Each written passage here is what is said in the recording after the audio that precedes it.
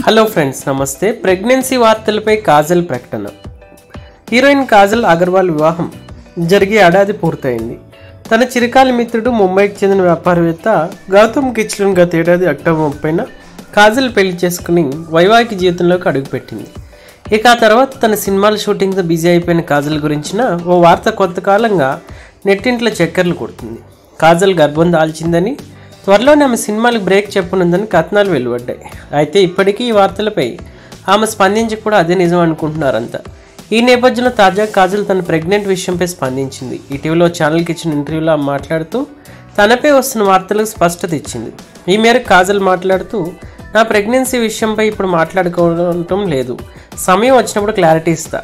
మాతృత్వం అనేది ఒక అద్భుతమైన అనుభూతి. నా చెల్లెలు నిషా అగర్వాల్ తల్లి కాబోతున్నప్పుడు తను ఎలాంటి ఫీలింగ్స్ ఫేస్ చేసింది?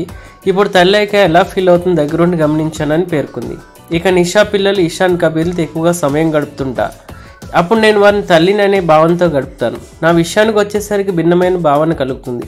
ఒక్కోసారి తల్లి అవ్వాలనే భావనే నాలో భయాన్ని కలిగిస్తుంది. కానీ నాకంటే ఓ బిడ్డ ఉంటే జీవితం ఎంతో అందంగా మారిపోతుందని అనుకుంటున్నాను. అంటూ కాజల్ చెప్పుకొచ్చింది.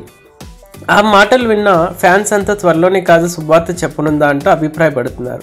ఇక ఆమె సినిమాల షూటింగ్ విషయానికి వస్తే ఇటీవల ఆచార్య షూటింగ్ పూర్తి చేసుకున్న కాజల్ ప్రస్తుతం ఉమా అనే సినిమా చేస్తుంది. హలో ఫ్రెండ్స్ నమస్తే. ప్రెగ్నెంట్